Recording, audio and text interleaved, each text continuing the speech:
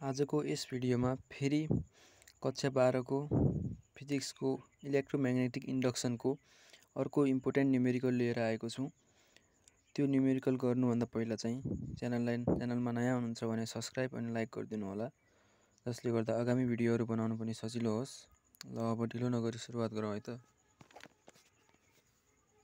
हामीलाई दिएको छ a straight conductor of length fifteen cm is moving with uniform speed of ten metre per second making an angle of thirty degree with uniform magnetic field of ten to power minus four tesla calculate the EMF induced across the length.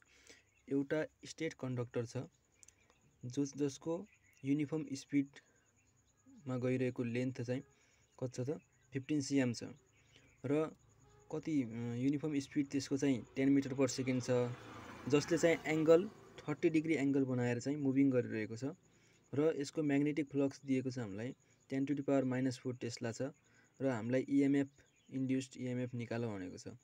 हामीले length दियो fifteen CM मिटरमा लग्यो भने हामीले zero point fifteen am गऱ्यो भी बराबर velocity हामीलाई ten metre per second छ theta बराबर एङ्गल हामीलाई थर्टी डिग्री छ म्याग्नेटिक फिल्ड हामीलाई बी बराबर ten to the power minus four tesla छ इएमएफ ई बराबर हामीले निकाल्नु छ।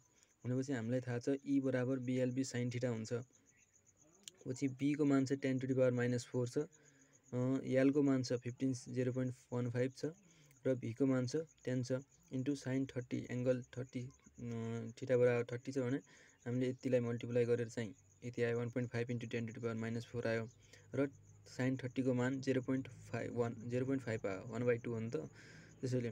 अब यतिलाई पनि मल्टिप्लाई गऱ्यो भने चाहिँ zero point seven five into ten to power minus four आयो र टोटल कति आयो त? Seven point five into ten to power minus five volt per metre आयो। हाम्रो रिक्वायर्ड आन्सर कति आयो? Seven point five into ten to power minus five volt per metre र यसको चाहिँ यति नै हो।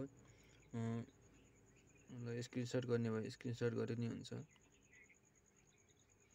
आजको लागि यति नै। अर्को भिडियो फेरि लिएर आउनेछु।